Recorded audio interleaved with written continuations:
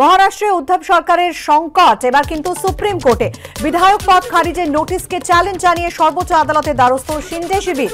মহারাষ্ট্র বিধানসভার deputy speaker, পুর নগরোন্নয়ন মন্ত্রী একনাথ সিন্ডে সহ ষোলো জন বিদ্রোহীকে তাদের বিধায়ক পদ খারিজের নোটিশ পাঠিয়েছেন এবং আজকের মধ্যে তাদের উত্তর দিতে বলা হয়েছে। আর এই নোটিশকে চ্যালেঞ্জ জানিয়ে সুপ্রিম কোর্টে গিয়েছে সিন্ডে শিবির।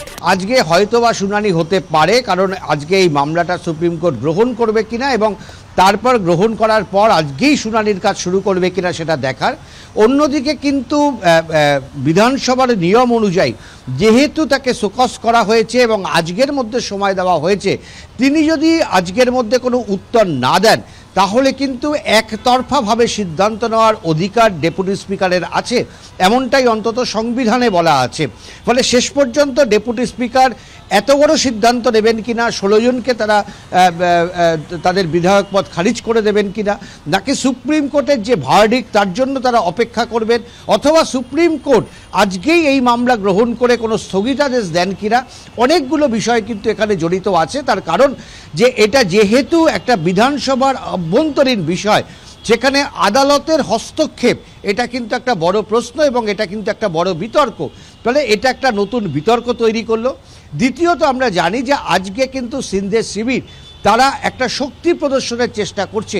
আমরা যেটা শুনেছি সেটা হচ্ছে থানেতে তাদের সমর্থকরা জমায়েত হচ্ছেন এবং তারা যে যথেষ্ট শক্তিশালী এবং তারা যে শিবসেনার সঙ্গে এখন যেহেতু বিদ্রোহী দল তাদের সঙ্গে লড়তে প্রস্তুত। এই শক্তি প্রদর্শন কিন্তু আজকে করতে চলেছেন, এমনটাই আমাদের কাছে খবর। আরও একটা গুরুত্বপূর্ণ তথ্য তোমাকে জানাই, যে একটা খবর এসে পৌঁছেছে যে ইতিমধ্যেই সাতজন মন্ত্রী কিন্তু সিন্ধে শিবিরের সঙ্গে আছেন। আমাদের কাছে খবর, আরও একজন মন্ত্রী কিন্তু তিনি আসামের উদ্দেশ্যে রওনা দিয়েছেন। এখনও তিনি পৌঁছেছেন কিনা বলতে পারব না, কিন্তু আসামের উদ্দেশ্যে রওনা দিয়েছেন মহারাষ্ট্রের রাজনৈতিক মহলে, তেমনটাই চর্চা। সেক্ষেত্রে কিন্তু একজন, দুজন না, আট, আটজন মন্ত্রী, তারা কিন্তু বিদ্রোহী শিবিরে নাম লেখালেন এবং এটা কিন্তু, এটা যে অবশ্যই ঠাকরে মন্ত্রিসভার কাছে একটা বড় ধরনের চ্যালেঞ্জ, এতে কোনো সন্দেহ নেই। এই সোমবার কিন্তু যথেষ্ট ঘটনা বহুল হতে চলেছে। অন্তত মহারাষ্ট্রের এই যে মহা সাসপেন্স চলছে, তাতে কিন্তু বেশ কিছু মোড় আসতে চলেছে, এমনটাই মনে করছে রাজনৈতিক মহল। কারণ আজ সকাল দশটা নাগাদ, একটু পরেই কিন্তু ভিতরে বৈঠকে বসবেন একনাথ সিন্ডে এবং তার বিদ্রোহী বিধায়করা। অন্যদিকে আটজন মন্ত্রী ইতিমধ্যেই কিন্তু গুয়াহাটির এই পাঁচতারা হোটেলে এসে পৌঁছেছেন। অর্থাৎ উনচল্লিশ জন শিবসেনা বিধায়ক এই মুহূর্তে র্যাডিসন ব্লুতে রয়েছেন। গতকাল সন্ধ্যে সাড়ে ছটা নাগাদ উদয় সামন্ত এসে পৌঁছন র্যাডিসন ব্লুতে এবং উদয় সামন্ত এসে পৌঁছানোর পর কিন্তু স্বাভাবিকভাবেই এই মুহূর্তে মহারাষ্ট্রের পঞ্চাশ জন বিধায়ক তারা গুয়াহাটির এই পাঁচতারা হোটেলে রয়েছেন।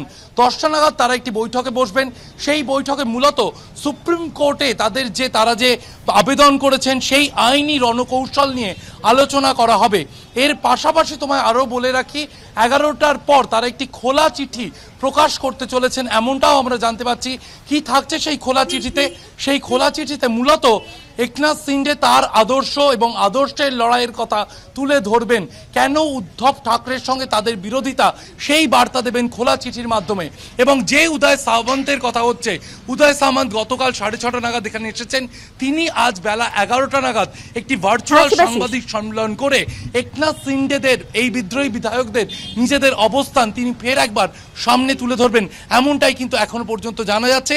দিনভর একাধিক বৈঠক রয়েছে এবং এই দিন ঘটনা বহুল হবে এমনটাই মনে করছে রাজনৈতিক মহল।